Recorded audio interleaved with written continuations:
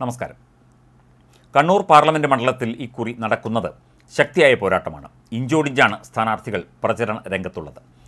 നിറഞ്ഞ വിജയപ്രതീക്ഷയിൽ L D F സ്ഥാനാർത്ഥി എം വി ജയരാജൻ രണ്ടാം ഘട്ട പ്രചരണം പൂർത്തിയാക്കി. ഇക്കുറി ലോക്സഭാ മണ്ഡലം പിടിച്ചെടുക്കാനുള്ള ഭഗീരഥ പ്രയത്നത്തിലാണ് എൽ ഡി എഫ്. രണ്ടായിരത്തി പത്തൊൻപതിൽ നിന്ന് വ്യത്യസ്തമായി ഇക്കുറി കാര്യങ്ങൾ തങ്ങൾക്ക് അനുകൂലമാണെന്നാണ് നേതാക്കളുടെ അവകാശവാദം. മറുവശത്ത് യു ഡി എഫ് സ്ഥാനാർത്ഥി കെ പി സി സി അധ്യക്ഷൻ കെ സുധാകരനാണ് എന്നതുകൊണ്ട് തന്നെ പാർട്ടിക്കായി കരുത്തനായ സ്ഥാനാർത്ഥിയെ തന്നെയാണ് ഇക്കുറി സി പി എം കളത്തിൽ ഇറക്കിയത്. കെ സുധാകരന് അനുകൂലമായി പാർട്ടി വോട്ടുകൾ ചോരുന്നതാണ് മുൻകാല അനുഭവം. കഴിഞ്ഞ തെരഞ്ഞെടുപ്പിൽ പാർട്ടി ഗ്രാമങ്ങളിൽ നിന്ന് വരെ വോട്ട് ചോർന്നിരുന്നു. തൊണ്ണൂറ്റിനാലായിരത്തിലേറെ വോട്ടിന്റെ ഭൂരിപക്ഷത്തിനാണ് K Sudhakaran L D F സ്ഥാനാർത്ഥിയായ പി കെ ശ്രീമതിയെ തോൽപ്പിച്ചത്.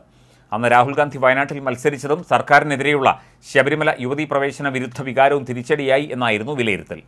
എന്നാൽ ഇക്കുറി അത് സംഭവിക്കില്ല എന്നാണ് സി പി എം നേതൃത്വത്തിന്റെ വിലയിരുത്തൽ. തങ്ങൾക്ക് കിട്ടാവുന്നതിൽ വെച്ച് ഏറ്റവും മികച്ച സ്ഥാനാർത്ഥിയായിട്ടാണ് എം വി ജയരാജനെ സി പി എം അവതരിപ്പിക്കുന്നത്.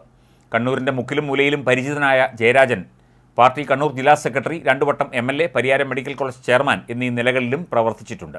കൂത്തുപറമ്പ് വെടിവെപ്പ് സമരത്തിനിടെ തലനാരിഴയ്ക്ക് രക്ഷപ്പെട്ട നേതാവ് കൂടിയാണ് എം ജയരാജൻ.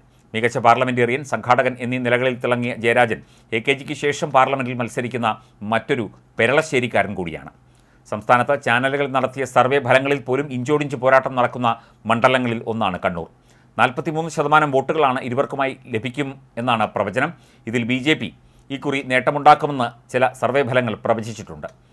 അറുപത്തി അയ്യായിരം വോട്ടുകളാണ് കഴിഞ്ഞ തവണ സി കെ പത്മനാഭൻ നേടിയത്. എന്നാൽ മുൻ കോൺഗ്രസ് നേതാവായ C Raghunath N D A സ്ഥാനാർത്ഥിയായതോടെ Congress വോട്ടുകളിൽ ചോർച്ചയുണ്ടാകുമെന്നാണ് എൽ ഡി എഫ് പ്രതീക്ഷിക്കുന്നത്. P D P I N L പാർട്ടികൾ ഇടത് ചേരിയിലാണെങ്കിലും S D P I welfare party ഒക്കെ യു ഡി എഫിനൊപ്പമാണ് നിൽക്കുന്നത്. ജയിച്ചാൽ കെ സുധാകരൻ ബി ജെ പിയിലേക്ക് പോകുമെന്ന് സി രഘുനാഥിനെ ഉദാഹരണമാക്കിക്കൊണ്ടാണ് എൽ ഡി എഫ് പ്രചരണം അഴിച്ചുവിടുന്നത്. പൗരത്വ ഭേദഗതി നിയമത്തിൽ ന്യൂനപക്ഷ സമുദായങ്ങൾക്കിടയിലുള്ള ആശങ്ക മുതലെടുക്കാൻ മുഖ്യമന്ത്രി അടക്കമുള്ള നേതാക്കൾ സി എ വിരുദ്ധ റാലിയിൽ പങ്കെടുക്കാനെത്തിയിരുന്നു.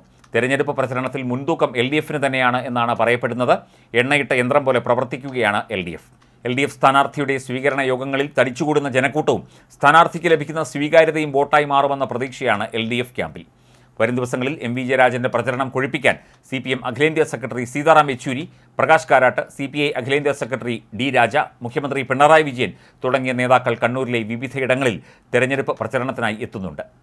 വീടുകൾ കയറിയുള്ള സ്ക്വാഡ് വർക്കുകളും കുടുംബയോഗങ്ങളും തെരഞ്ഞെടുപ്പ് പൊതുയോഗങ്ങളും റോഡ് ഷോയും തെരഞ്ഞെടുപ്പ് റാലികളും കൊണ്ട് രംഗം കൊഴിപ്പിക്കുകയാണ് എൽ കേന്ദ്ര കമ്മിറ്റി അംഗമായ പി കെ ശ്രീമതിയുടെ നേതൃത്വത്തിലാണ് തെരഞ്ഞെടുപ്പ് പ്രചരണം നടക്കുന്നത്.